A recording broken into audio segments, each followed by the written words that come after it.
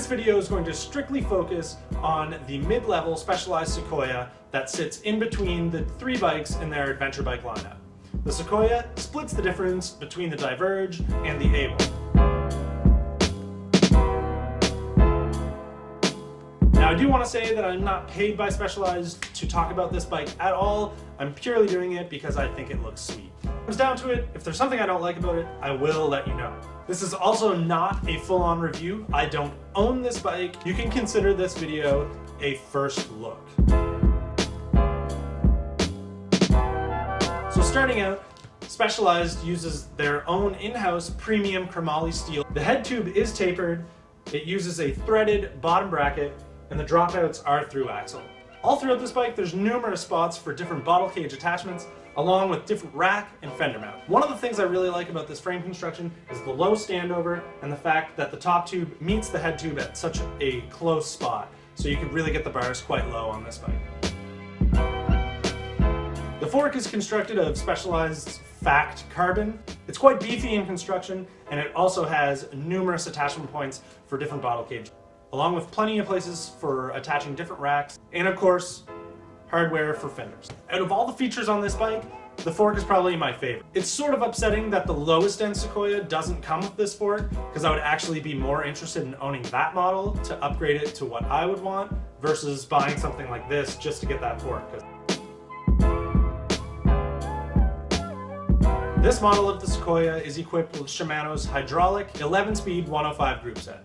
It uses non-105 levers, which are probably the ugliest things that have ever been created. Like, what were you thinking, Shimano? It's, it's, it looks terrible. Why didn't you make it look better? I mean, you need to make something that works amazing and looks good. I just don't understand why you wouldn't put more effort into making it look better.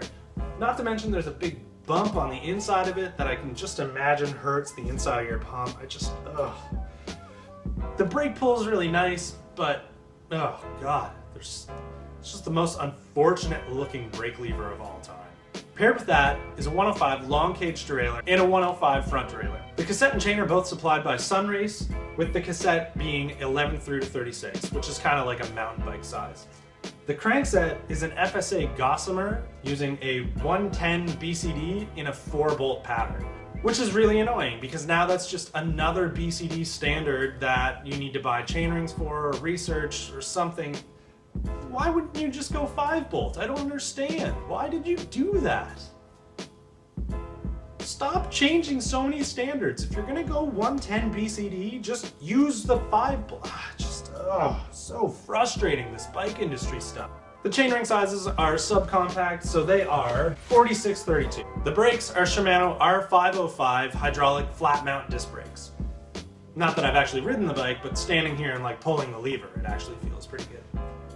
The wheels are hand-built Specialized Adventure Gear branded Hayfields. I don't know what the Hayfield means, but it is nice to know that on a bike like this that you're getting a nice hand-built wheel.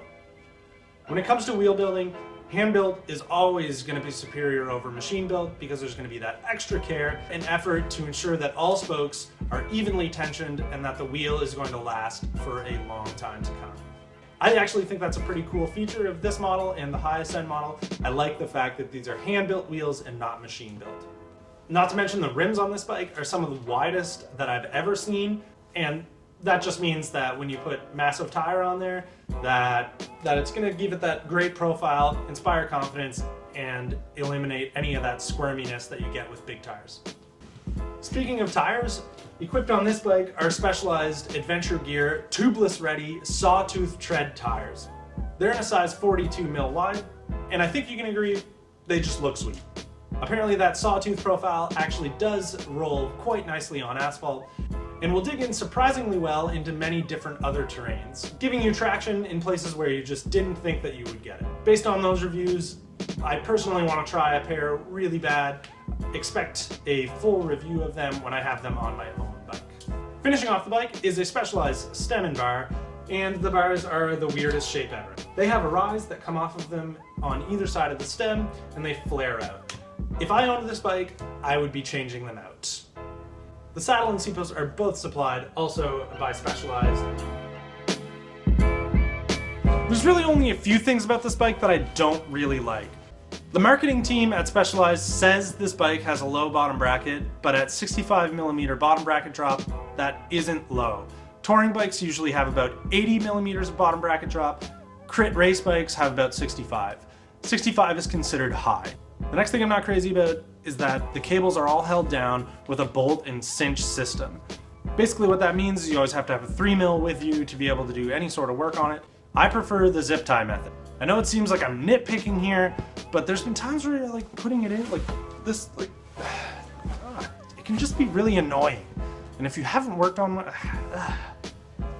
beyond that, this bike is just cool. I like the fact that this is a bike that you can do a really long touring ride with, and then when you get where you want to be, you can pull everything off of it and go do like a spirited road ride.